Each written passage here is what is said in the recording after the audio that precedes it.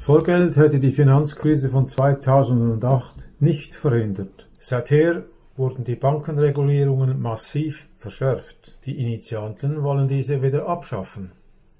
Richtig ist, selbstverständlich kann Vollgeld keine Krise, die ihren Ursprung in den USA hat, in der Schweiz lösen. Aber mit Vollgeld wären die Auswirkungen viel kleiner und die UBS-Rettung nicht zwingend gewesen. Dies gilt auch für zukünftige Krisen.